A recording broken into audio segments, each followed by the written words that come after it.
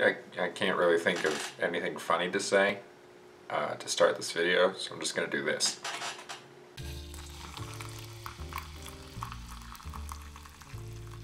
Good morning, and welcome back to Coffee with Santi. Today, uh, I thought we would talk about uh, simplicity, um, and more specifically, uh, sort of my own personal ethos of uh, keeping things simple. Um, I'm sure I've talked about this in some capacity before on this channel, but when it comes to a lot of things in my life, um, one of the things that I try really hard to do uh, is keep things as simple as I can because for me, um, there's sort of a, not only like a kind of a beauty in simplicity, but there's something like that kind of really helps uh, keep things in order in my brain when I keep them uh, to sort of their basic essentials. Um, and what I mean is like specifically like if I have a habit that I'm trying to start or if there's a task that I want to do or, or you know anything like that.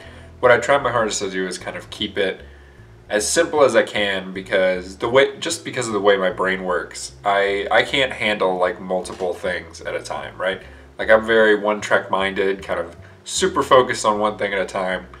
Uh, and the more complicated that one thing becomes, the easier it is for my brain to kind of lose focus, to kind of focus on something else, or to get overwhelmed and to just kind of ignore the thing altogether. So one of the things that I really try to do with myself is like, you know, if I'm starting something new, if there's something that I'm trying to kind of turn into a habit, I kind of boil it down to its base essentials and I think, well, what are, the, you know, these couple of things that I can do that are going to get me there and then slowly over time kind of build it so that it's like more effective.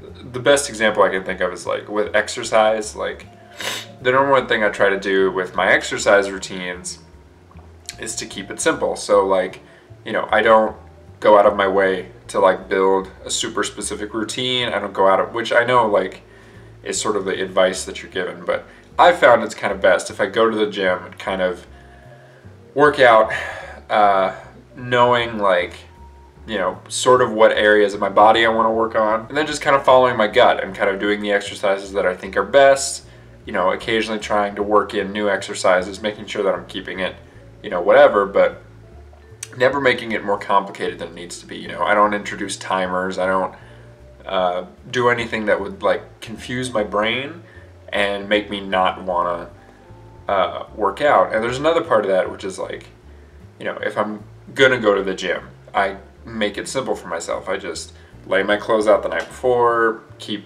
all my stuff in the same bag, keep that bag in the same place. That way it's so easy to just get it, go, and uh, it's easy. So I could talk about this forever, um, and I won't in this video. I'll probably make a follow-up video to this at some point, kind of further explaining this. But yeah, that's just one of my things that I kind of always have in my head is this idea of like, you know, keep it simple. Like don't don't complicate your life more than you have to because the more complicated things get, like the easier it is to kind of lose track of what's important and you know what you're really trying to accomplish in life. So thank you so much for watching. If you enjoyed this video, please consider giving it a like, maybe subscribing down below, possibly leaving a nice comment make videos like these every so often. So thank you again for watching, and I will see you some other time.